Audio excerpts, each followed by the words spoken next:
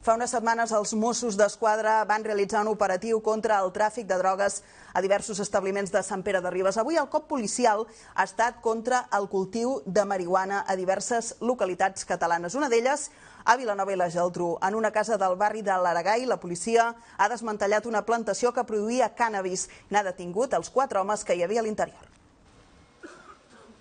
Quatre persones detingudes aquest matí a Vilanova i la Geltrú en un operatiu conjunt entre Mossos d'Esquadra i agents de duanes de l'agència tributària. El de Vilanova i la Geltrú ha estat un dels molts registres que s'han produït avui a diverses localitats de Catalunya.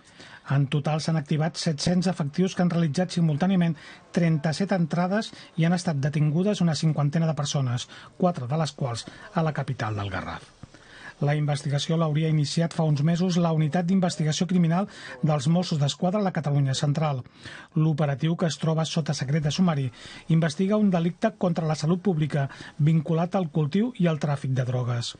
Precisament en aquesta casa de Vilanova i la Geltrú, al carrer del Rossinyol, al barri de l'Aragai, la policia ha trobat una plantació de cultiu de marihuana. El dispositiu policial ha començat a primera hora de matí, quan diverses unitats del grup d'intervenció han accedit a l'interior de la casa i han detingut els quatre homes que hi havia a l'interior. La policia ha decomissat diversos sacs de marihuana i han inhabilitat el sistema de làmpades que feien servir per al cultiu de la droga. Els inquilins s'havien connectat de forma fraudulenta al subministrament elèctric i al sistema d'abastament d'aigua. Aquest matí, tècnics de les companyies de serveis estaven anul·lant aquests subministraments. Aquesta casa ha estat una font de conflictes amb els veïns des de fa molts anys.